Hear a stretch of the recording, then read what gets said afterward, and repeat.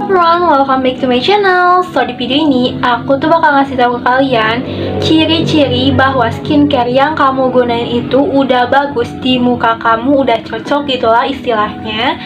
So, daripada kita lama-lama, kita langsung aja ke pembahasannya. Jadi jangan lupa nonton sampai akhir ya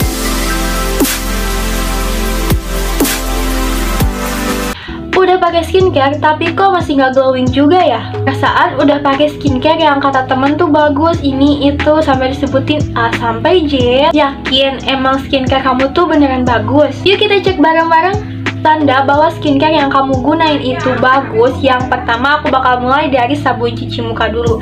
Kalau ada tanda-tanda ciri-ciri yang emang aku sebutin ini ada di muka kamu Ya berarti kamu emang cocok sama sabun cuci muka ini. Sabun cuci muka yang kamu pakai gitu maksudnya. Yang pertama si sabun cuci muka itu tuh nggak bikin kering Kulit gak kerasa ketarik kayak gak ya bikin gak bikin kering gitu. Jadi kayak lembab aja mukanya lembut gak ada butirannya sama sekali gak banyak janji. Fokus buat bikin bersih dan bikin lembab aja si pencucinya tersebut. Terus kandungannya pun gak ada yang bersifat kayak melukai kulit kita. Buat toner yang bagus dan cocok sama kulit kita ciri-cirinya si tonernya tuh fokus menghidrasi kulit kita. Gak fokus buat mencerahkan. Bagus kalau ada kandungan yang emang menenangkan kulit kita. Terus juga ini gak ini sama kayak yang tadi aku sebutin di sabun cuci muka yaitu gak ada kandungan yang dapat membahayakan kulit kita. Nah, sekarang adalah ciri-ciri pelembab yang bagus. Gimana ciri-ciri pelembab yang bagus? Maksudnya kayak bagus di muka kamu, cocok di muka kamu.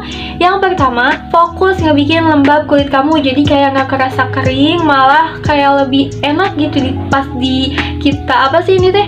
Uh, pas kita pegang tuh si mukanya. Terus si pelembab juga nggak fokus buat mencerahkan. Pelembab tuh lebih bagusnya dia mengandung kandungan yang B yang emang bagus buat skin barrier kita. Terus gak ada kandungan yang melukai kulit kita. Serum yang cocok sama kulit kita, ciri-cirinya kalau kamu gunain serum vitamin C, list vitamin C yang stabil yang pertama, Atli Ascorbate Acid, Ascorbate 2, Glucosid, Sodium Ascorbyl Fosfat, Magnesium ascorbyl fosfat dan yang terakhir ascorbyl 6 palmita. Kalau emang uh, kamu pakai serum yang niacinamide pakai versi yang terbaiknya yang lebih aman buat kulit sensitif tuh yang ada kandungan alpha arbutin, niacinamide, magnesium, ascorbyl fosfat. Batas dosis buat kandungan tuh ada beberapa bakal aku sebutin. Yang pertama dari vitamin C. Batas buat vitamin C itu 10